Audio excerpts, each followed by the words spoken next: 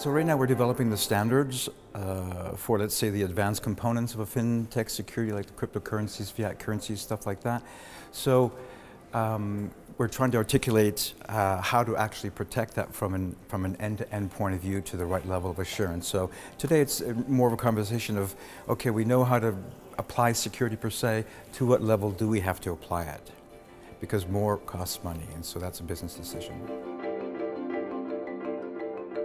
Well, if you look at how we evolved in security in the advanced, advanced industrial economies, it's really an evolution that has resulted in multiple frameworks authored by multiple groups, so it's actually a very costly and complex thing to address. So, so for example, the uh, CEO, the new CEO of Equifax announced on March 19th that they were investing 1.25 additional billion dollars in security and hiring an additional 1,000 people. Well, there isn't a thousand people per se to find, and uh, not everyone has a, a, quarter, a, one and a quarter billion to throw to security. So the point being is, security today is protection for the rich. And we're connecting to the rest of the world extremely fast, and they're less protected. So how are they going to be protected so that when they connect to us, we're all protected? So security inclusion now is um, a call to action that in essence we use an innovation that exists to reduce the amount of humans involved in the particular process which they're not very doing, doing, a very good job at, the, the process of security control management. It is not a human conducive uh, activity to track minutia, so the problem is, is there a way that we can convert worded statements into a syntax language that can be understood by computers? In which case, we would solve a large part of the problem and reduce cost and complexity of security, which is security inclusion now.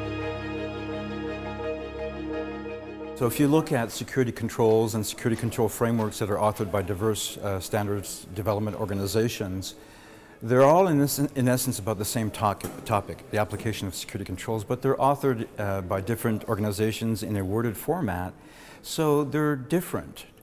And they all have to be read, interpreted, validated, verified, and that entire process is called the audit and control industry. You know, controls, what do I have to do, what do I have to do to show that? that that's what makes it so complicated and costly, is the reconciliation between all these frameworks.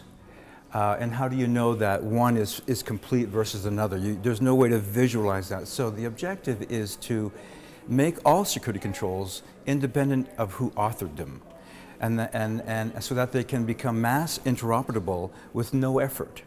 So this requires what I call the Security Genome Project to be uh, initiated, where a bunch of experts would uh, not only define the terms uh, involved in security, but define them in a um, single parent tree structure where uh, you can increase precision as you go down the tree.